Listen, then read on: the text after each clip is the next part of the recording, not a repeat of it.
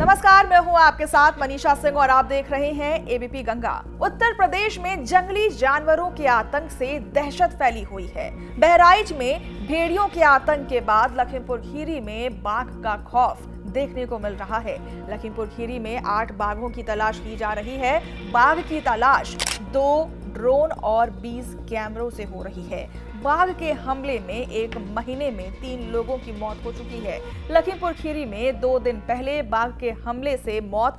मामले में वन अधिकारी ड्रोन कैमरे से बाघ की तलाश कर रहे थे। थाना हैदराबाद इलाके के इमलियापुर गाँव में घास काटने के दौरान 45 वर्षीय अमरीश की बाघ के हमले में मौत हो गई थी। डीएफओ संजय बिस्वाल ने कहा है कि जल्द ही बाघ पकड़ा जाएगा। हम बाघ की लोकेशन ट्रेस करने की कोशिश में हैं। क्योंकि बारिश हुई है और पानी भरा हुआ है, ऐसे में जानवर बाहर आ जाते हैं। बाघ एक दिन में 10 किलोमीटर तक मूव कर सकता है। हमने चार पिंजड़े लगाए हैं। बिस्वाल ने बताया कि हमारे साथ कुछ एनजीओ भी साथ में हैं। हम लोग पूरी कोशिश में हैं कि जल्द ही लोगों को इस भय से मुक्त कराया जा सके। उन्होंने कहा कि आठ बाघों को पकड़ने के लिए वन मंत्री ने भी निर्देश दिए हैं।